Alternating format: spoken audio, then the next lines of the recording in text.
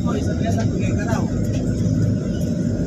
Hindi na kami dumadaan ng tutorial ha.